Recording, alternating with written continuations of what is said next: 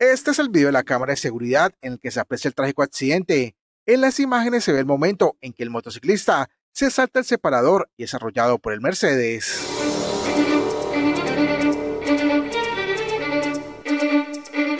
Un experto en movilidad aseguró que en este caso la responsabilidad podría ser compartida si se analiza la imprudencia de cruzar el separador y la velocidad del vehículo.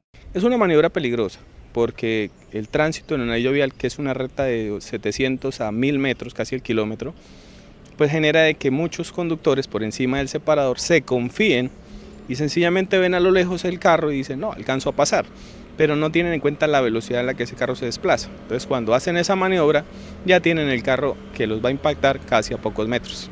Pero el llamado más urgente es a subir la altura del separador y mayor presencia de las autoridades para prevenir que estos hechos sigan enlutando hogares en el área metropolitana de Bucaramanga. Entonces ellos ya tomaron unas medidas, que fue el cierre de unos cruces que habían, elevaron el, el, separador en unos tramos, entonces ya sería por parte de ellos como una medida ya un poco pues más estricta, levantar todo el separador a una altura superior de los 30 centímetros para que sea más difícil el paso por encima de ese separador, tanto para motociclistas y como le digo, hasta para vehículos de 4x4 eh, y hasta automóviles. La víctima del fatal desenlace fue identificada como Gustavo Guate Martínez, de 66 años, natural del Cerrito. En cuanto al conductor del Mercedes-Benz clásico, la prueba alcoholemia arrojó negativo.